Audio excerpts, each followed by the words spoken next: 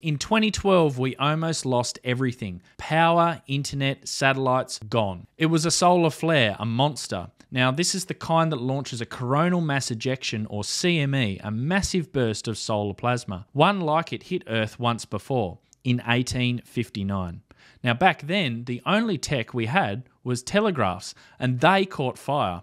Operators were shocked through the lines. The sky lit up bright red. People thought the world was ending. But in 2012, a similar flare missed us by just days. If it had hit, global blackout, GPS gone, satellites fried.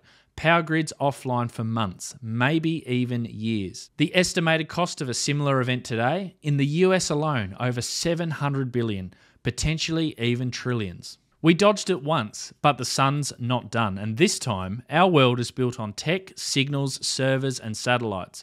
So the real question is are we ready when the lights don't come back on? Because